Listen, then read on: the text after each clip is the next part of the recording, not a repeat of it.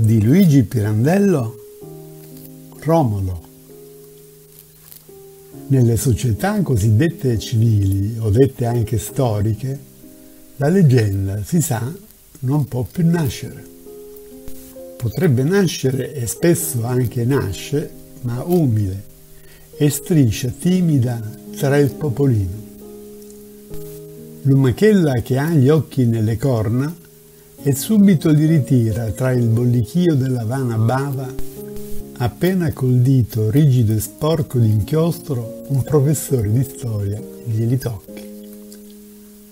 Crede il professore di storia che in quel suo dito rigido e sporco d'inchiostro sia la santa verità e che sia un bene far ritirare le corna alla lumachella. Disgraziato. E più disgraziati posteri che avranno minuto per minuto documentati i fatti degli avi e dei padri, che forse, abbandonati alla memoria e all'immaginazione, a poco a poco, come ogni cosa lontana, si innazzurrerebbero di qualche poesia. Storia, storia, fidiamola con la poesia. Ecco qua, senza lupo, senza il fratello Remo, senza volo d'avvoltoi. Romolo come ce lo fanno conoscere gli storici, come l'ho conosciuto io, ieri, vivo. Romolo, un fondatore di città. E dire che a guardarlo bene negli occhi di lupo, peccato. Si poteva credere benissimo che davvero una lupa lo avesse allattato bambino circa 90 anni fa il suo remo di fronte, rivale, quantunque non fratello, lo aveva avuto davvero. Non l'aveva ucciso solo perché Remo aveva pensato lui di morire prima, a tempo, da sé. Ma non andate ora a cercare nelle carte geografiche la città fondata da questo Romolo. Non la troverete. La troveranno i posteri di sicuro, di qui a tre o quattrocento anni, e anche segnata, vi so dire, con uno di quei cerchietti che indicano le città capoluogo di provincia e il suo bravo nome accanto. Riparo che ciascuno dentro ci potrà immaginare le belle cose che vi saranno, vie, piazze, palazzi, chiese, monumenti, Col signor prefetto e la signora prefettessa, se dureranno ancora questi saggi ordinamenti sociali, e se un terremoto prima, con l'aiuto di Dio che castiga le ambizioni degli uomini, non l'avrà fatta crollare dalle fondamenta. Ma speriamo di no. Per ora è più che un casale, di già una bella borgata con presto due chiesine, una è questa qua. Sta da un tempo, per consiglio di Romolo, adattata e chiesina, con un solo altarino dentro di vecchio legno ingrassato al tanfo caldo delle tame e una stampa del Sacro Cuore di Gesù attaccata al muro coi chiodini. Alla meglio si sa, ma che importa? Gesù ce la respira davvero qui dentro, la sua natività. Da miglia e miglia lontano ogni domenica ci vede con la mula un prete a dir messa, tutto sudato, impolverato d'estate, intabarrato fino agli occhi con l'ombrelloni di seta verde d'inverno, come nelle oleografie. La mula, legata per la cavezza all'anello accanto alla porta, aspetta, sbuffando e scaccinando per le mosche culaie. Ecco qua in terra il segno delle scacciature. Povera bestia, non lo sa che è ufficio divino. Le pare una gran seccatura e mill'anni che finisca. L'altra, la nuova, sarà presto terminata e sarà una vera galanteria col campanile e tutto, tre altarini il pulpito e la sagrestia, tutto insomma chiesa per davvero, levanta di pianta per chiesa con un tanto a testa di tutti i borghigiani. Ora, quando qui sarà città, nessuno dei tanti figli di essa saprà di questo Romolo, primo loro padre, come perché sia nata la città, perché qui e non altrove, sulla terra, in un luogo, non si riesce più a vedere questa terra e questo luogo come erano prima che la città vi sorgesse. Cancellare la vita è difficile quando la vita in un luogo si sia espressa e imposta con tanto ingombro di pesanti aspetti, case, vie, piazze, chiese. C'era il deserto, un beato deserto qua, uomini che come un nastro svolgevano la vita da lontano lontano, passarono allungando il nastro per questo deserto. Uno stradone. E carri cominciarono a poco a poco a passare nella solitudine per questo stradone e qualche uomo a cavallo armato che volgeva attorno gli occhi guardinghi dallo sgomento che si scoprisse per la prima volta a lui solo la vista di tanta solitudine così lontana e ignota a tutti. Silenzio intorno e aperto sotto la vastità cupa del cielo. Quando di qui a 400 anni campanelli di tram elettrici, trombe d'automobili squilleranno, streperanno tra la confusione delle vie affollate, illuminate da lampade d'arco con luccichie e sbaragli di vetri, gli specchi negli sporti, nelle vetrine delle ricche botteghe, chi penserà a una lampada sola in cielo, la luna, che nel silenzio e nella solitudine guardava dall'alto il nostro bianco dello stradone in mezzo al deserto sterminato e ai grilli e alle raganelle che qui scampanellavano soli?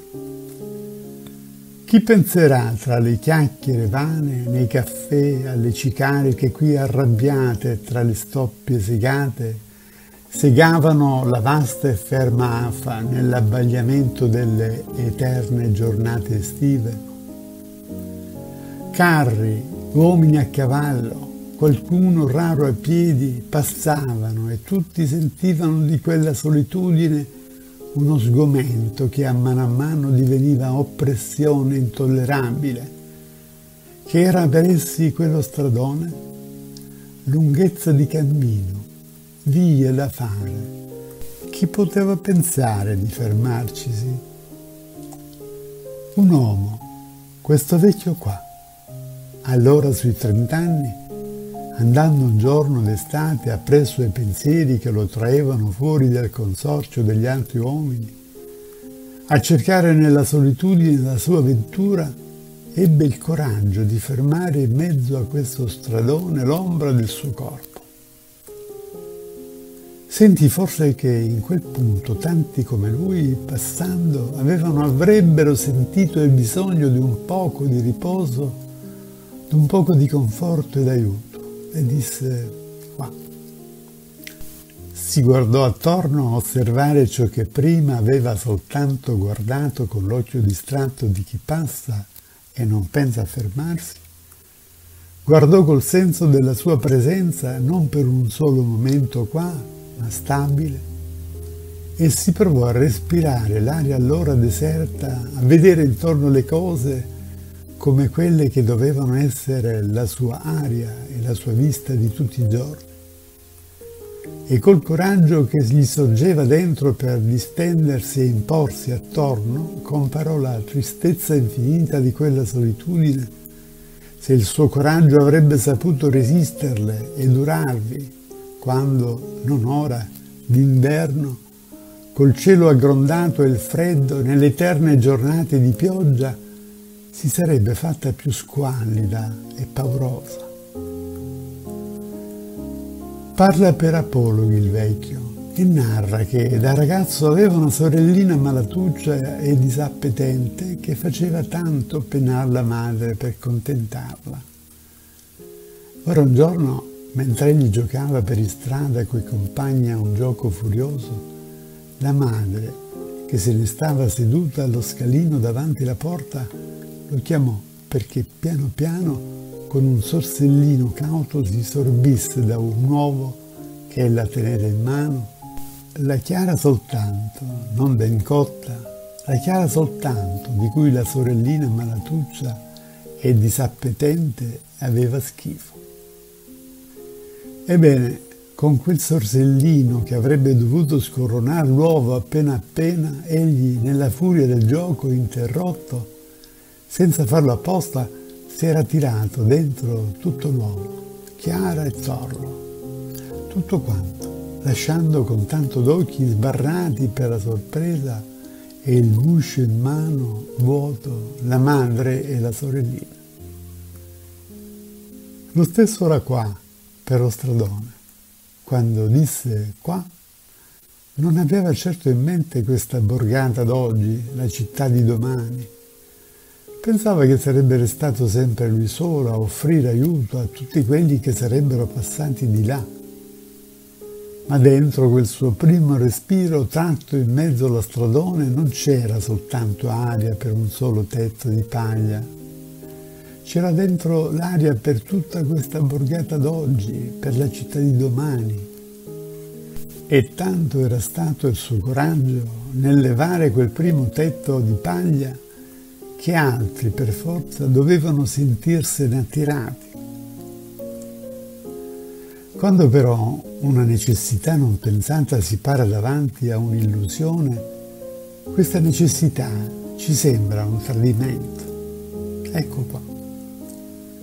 Dopo che lui, sfidando gli orrori della solitudine per mesi e mesi solo, era rimasto a far fermare davanti a quel suo tetto di paglia i carri che passavano e poi, levata poco a poco la casetta di pietra e fatta venire la moglie coi figlioli, era riuscito a far sedere sotto la pergola i carrettieri a bere il vino di cui una bottiglia di saggio pendeva appesa con una frasca d'insegna alla porta e a mangiare in rozze scodelle campestri i cibi cucinati dalla moglie mentre egli attendeva a riparare una ruota o una molla a qualche carro o a ferrare la mula o il cavallo.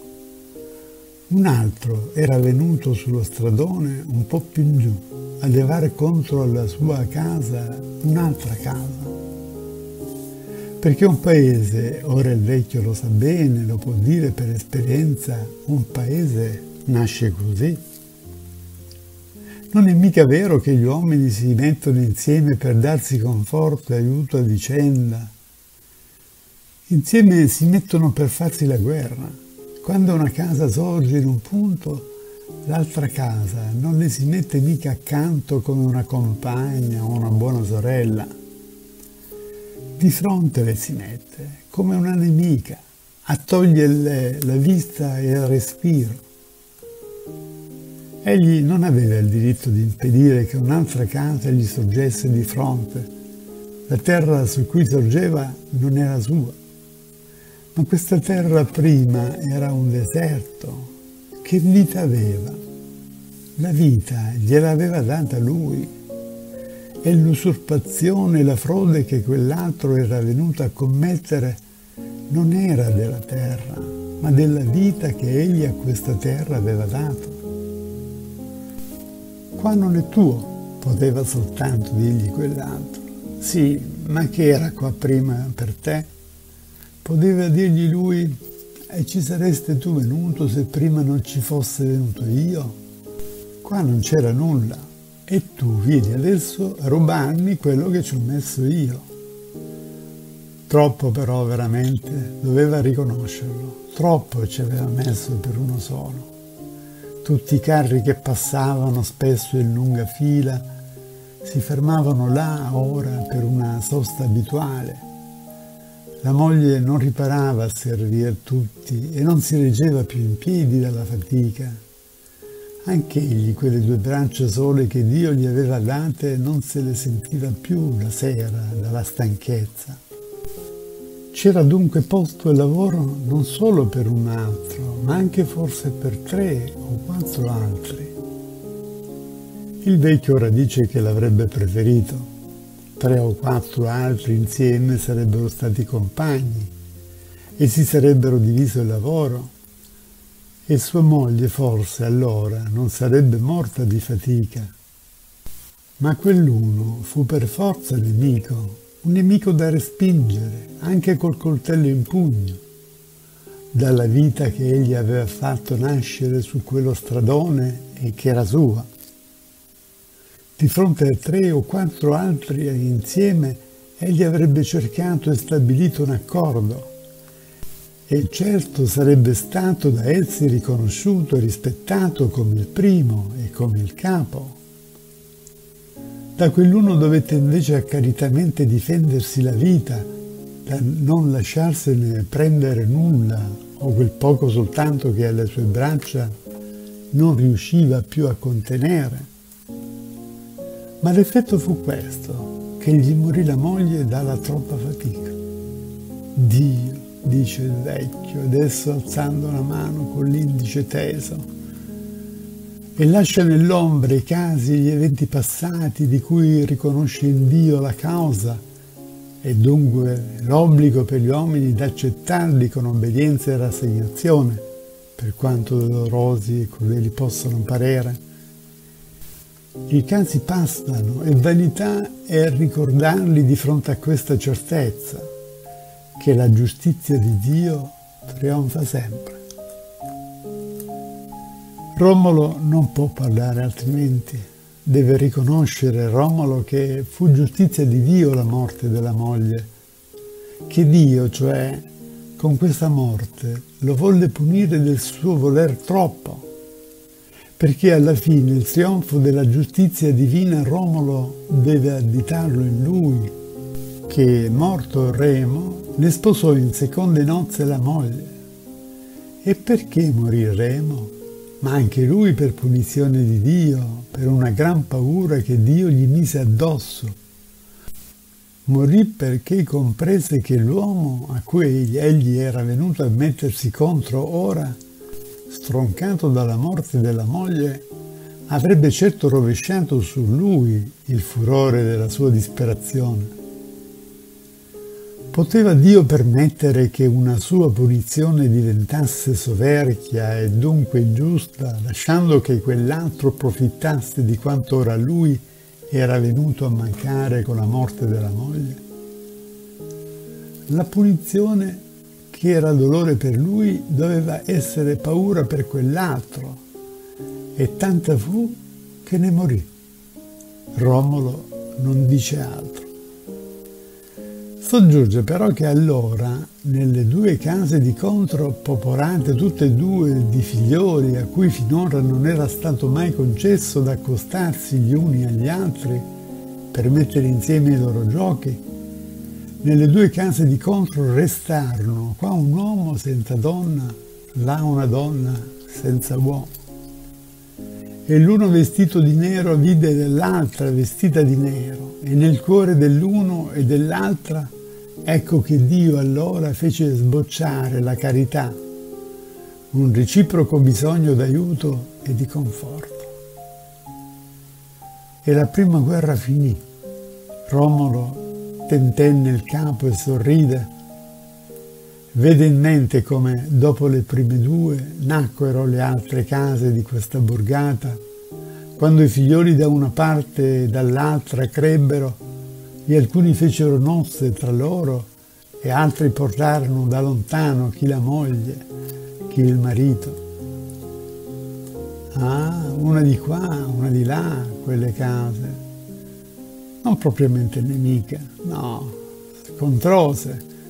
Le spalle non se le voltavano, ma l'una si era messa un po' di fianco e l'altra un po' di traverso, come se tra loro non volessero vedersi in faccia